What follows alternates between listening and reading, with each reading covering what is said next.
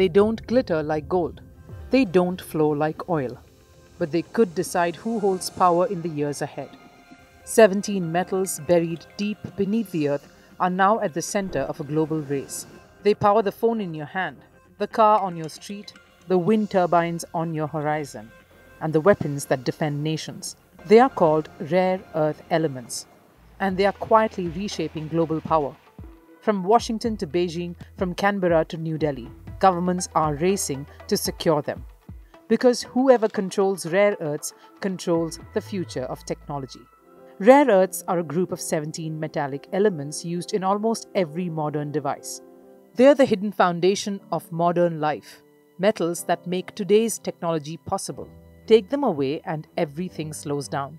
According to the US Geological Survey, the world holds over 90 million tons of known rare earth reserves. But holding reserves doesn't mean controlling supply. The real advantage lies in refining, the process that turns raw ore into usable materials. That's where China dominates. Today, China reportedly mines around 70% of global rare earth output and processes about 90% of it. In October, China expanded its export controls. Rare earth elements are now driving a new kind of diplomacy. In the 20th century, power came from pipelines. But in this century, it flows through refineries, chip foundries, and magnet factories.